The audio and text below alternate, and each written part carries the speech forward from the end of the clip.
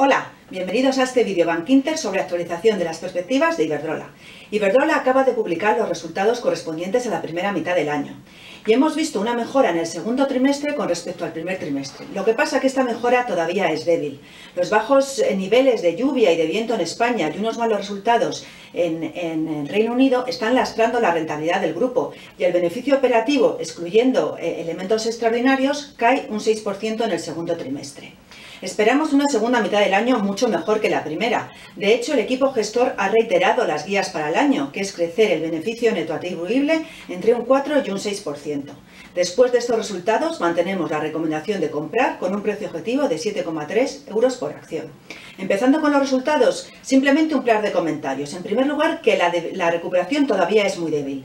El año empezó muy mal para Iberdrola, con una caída en el beneficio operativo del 19%.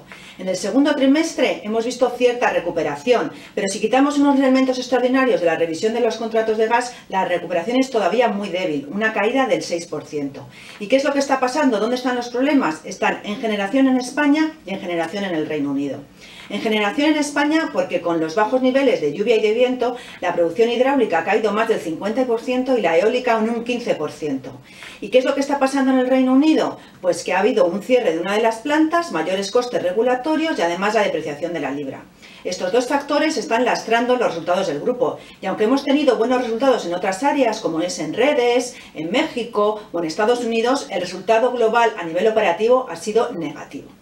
Y ahora vamos a movernos a lo que esperamos para la segunda mitad del año. Bueno, pues esperamos una segunda mitad del año mucho mejor que la primera. Lo mejor está aún por llegar. Por dos motivos. En primer lugar, todavía hay factores positivos que tenemos que ver en la cuenta de resultados, como es la entrada en funcionamiento de inversiones en renovables y también algunas revisiones de tarifas de las redes. Y por otro lado, los elementos negativos que han afectado la acción se tienen que ir mitigando en la segunda mitad del año. Por ejemplo, con una normalización del recurso eólico e hidráulico y también con un impacto cada vez más ligero del cierre de la planta en Inglaterra y también de la depreciación de la libra. Además, en la segunda mitad del año tienen que aflorar las plusvalías correspondientes a la fusión de sus dos eh, filiales en Brasil, con lo cual tendremos esta ayuda extraordinaria.